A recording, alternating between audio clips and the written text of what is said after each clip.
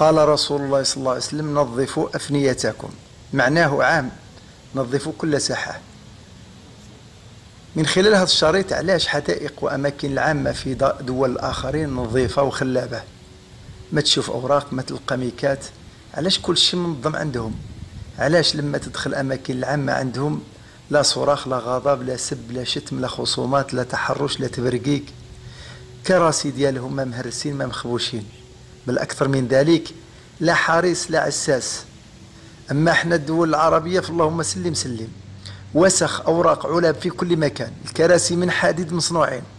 من الإسمنت تلقاهم مهرسين ومقلوعين البشر صراخ صراخ غضب سب شتم.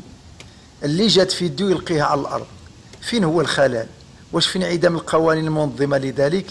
أو القوانين كاينة ولكن ما كاينش تطبيق ثم نطرح سؤال آخر.